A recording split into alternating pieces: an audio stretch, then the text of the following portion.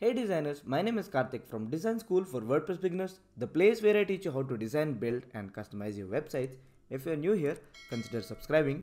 In this video, I want to show you how to design transparent sticky headers with logos that shrink based on the scrolling. So as you scroll, you can see that my header changes its color and the logo shrinks and adjusts itself. This is possible with the new features added in Elementor version 2.5.8 beta. So once the stable version comes out, I think it's coming out real soon, you can achieve this particular logo shrink effect along with the transparent sticky feature. Click on the template that you have designed for your header by clicking on edit with Elementor. Click on the section and under advanced, under motion effects, select scrolling effects and choose sticky top. And you also want this on desktop tablet and mobile. And you can set an effect offset which basically specifies the amount after which the effect should kick in. So that's what it means. Or the amount of pixels that need to be scrolled before the effect takes place. That's what it means. You can change the value. By changing the offset you'll basically displace the header. I don't want to do that and once you're done with that we need to move on to the next part and paste the code that I'm going to share with you in the description. I'll tell you what this code is. Well, selector stands for this particular section.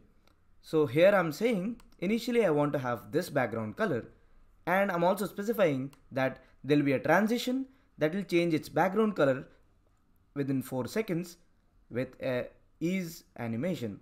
Other values are ease in.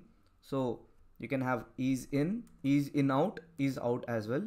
We'll just leave it for ease and this specifies selector dot elementor sticky effects. Specifies that the background color that my header or this particular section needs to have when it turns into a sticky header. So you can have any header here. You can maybe say red or pink or whatever color or you can have an RGB value if you want that little bit of transparency. It's all up to you. So just put any color here. I'm just putting pink for my reference. And this particular code shrinks the height of container to 75 pixels. What is this again?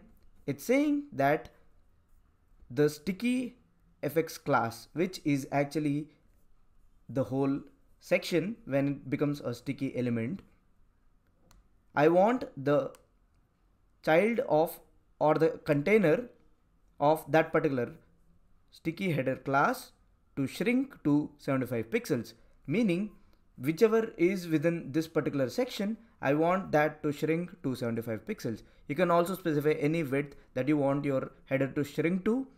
I'm just happy with 75 it's perfectly aligned with the logo and my menu so I'm really happy with it and this code says that I'm going to transform the container within selector.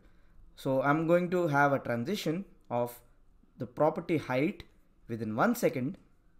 That's what this specifies. So we have two transitions here. One is we're actually changing the background color of this section using this code.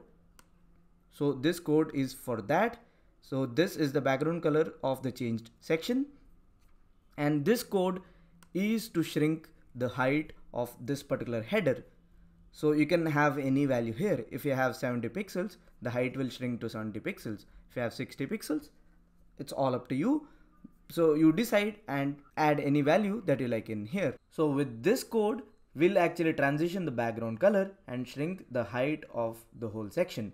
Well, how do you shrink the size of the logo? This is where the recent feature which is added into Elementor version 2.5.8 beta kicks in. So you just need to click on your logo or your image, whatever it is.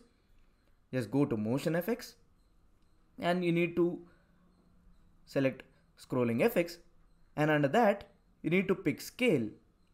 So what we're effectively doing is that when the user scales up, that's what we're seeing here, we're actually shrinking the size and you can play with these values based on your requirement and I'm actually happy with these values so as the user scales up or when the user scrolls, it will scale in a negative direction, meaning it will shrink the size of the logo. There are other values you can also play with scale down, scale up, down and all. Scale up seems to work really well. So you can pick scale up and adjust the amount by which you want to shrink the logo size. I think minus 3 is in that sweet spot. So it will shrink properly with my header and you can also pick X anchor point and Y anchor point. If we change Y anchor point, you'll see where my logo is going I think center alignment is perfect and I want this on my desktop, tablet and mobile. So I'm more than happy with it. And then I'll just click on update. And that's it. And that's how you have a transparent header that changes its color and also shrinks its logo size when the user scrolls through the page. It's that simple. But you need to wait for the Elementor version 2.5.8 to come out.